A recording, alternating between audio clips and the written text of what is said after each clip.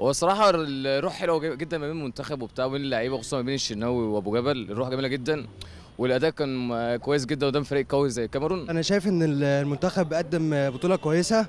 الفترة اللي فاتت آه، كانت الناس قلقانة من من كروش ومن الأداء بتاع المنتخب بس هو قدر يثبت إن هو مدرب كويس.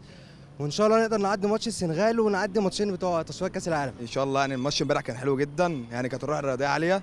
أنا اتمنى طبعا في ماتش السنغال تبقى نفس الروح الرياضية. امبارح لما كسبنا نص النهائي كانت فرحة طبعا ما توصفش يعني باذن الله نفسنا بقى ناخد النهائي و... نفسي دايما يكون رأيتنا مرفوعة إن شاء الله لسابع سما وربنا ينصرنا كل حاجة. اللهم آمين يا رب.